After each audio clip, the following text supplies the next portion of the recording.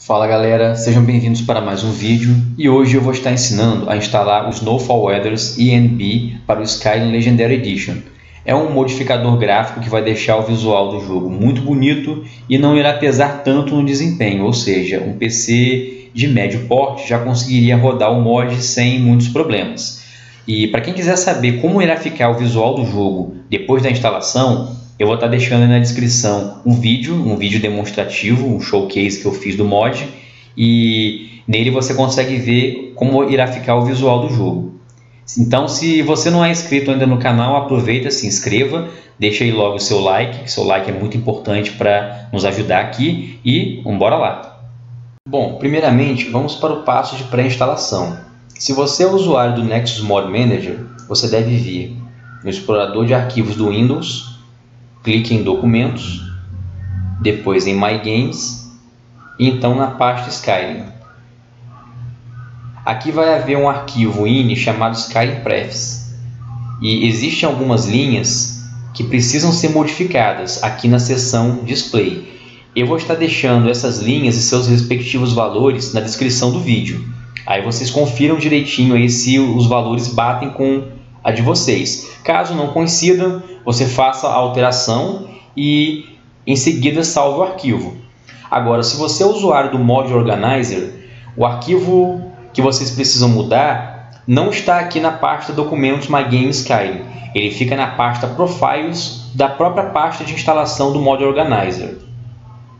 Feito isso, o próximo passo é baixar e instalar o mod Vivid Weathers. Então a gente vem aqui na página do Vivid Weathers na Nexus. Cliquem na aba Files e cliquem aqui para poder baixar com o Manager. No meu caso aqui eu já baixei, então vamos apenas instalar. A gente seleciona aqui o mod e cliquem aqui para poder instalar. Vai aparecer a janela de instalação. Não há necessidade de selecionar nada disso aqui a não ser que vocês queiram usar o opcional, a textura opcional para o céu noturno que vem com ele, mas não precisa. Então, clicamos apenas aqui em Finish. Vai aparecer a ativação do mod. E ele pode perguntar se você, se você vai querer substituir algum arquivo. Então, vocês podem clicar em Yes to All. Vamos aguardar.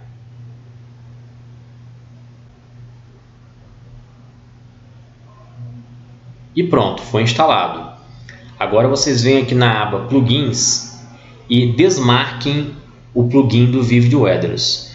O que acontece é que o, o mod climático que vem com o Snowfall ENB, ele usa apenas alguns arquivos que vem com o Vivid Weathers. Então ele não vai usar o, o plugin dele. Então vocês podem vir aqui e desmarcar.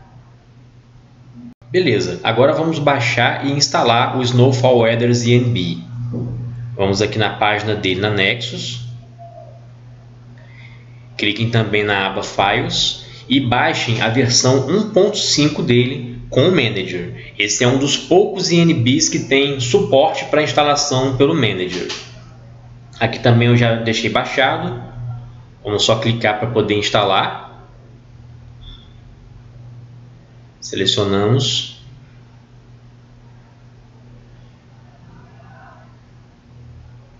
E vamos instalar.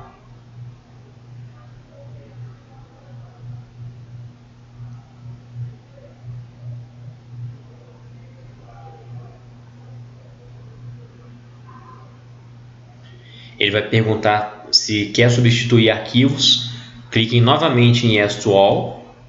Deixem substituir tudo.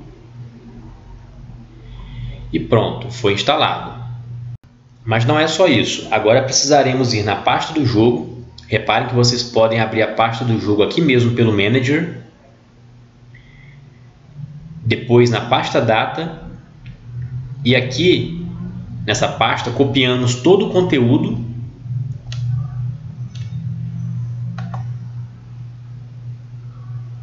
e vamos colar na pasta raiz do jogo.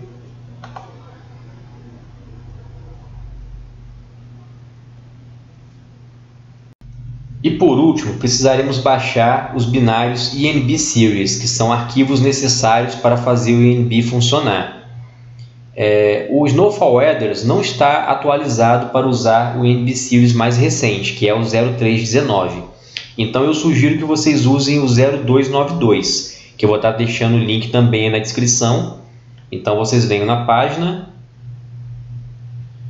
o ícone para download vai estar lá no final. Baixem por aqui. Depois abram. E na pasta Wrapper Version,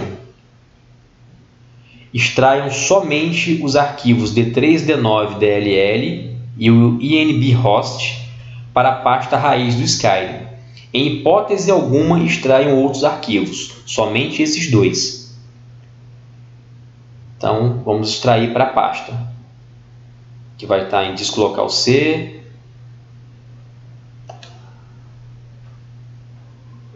Steam,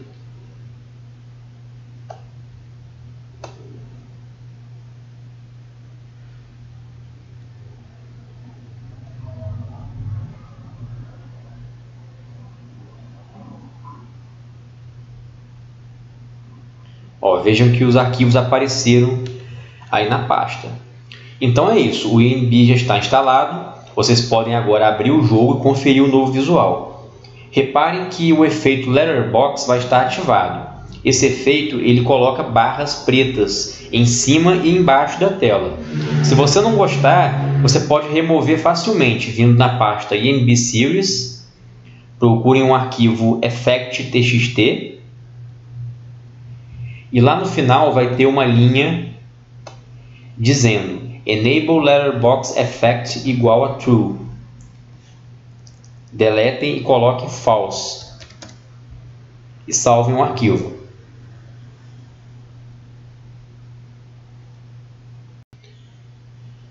Depois eu vou estar fazendo um tutorial mostrando como customizar os valores de memória para o arquivo INB local. Então é isso galera, esse foi mais um tutorial, espero que tenham gostado. Deixem aí o seu like para ajudar no canal. Um grande abraço a todos e até o próximo vídeo.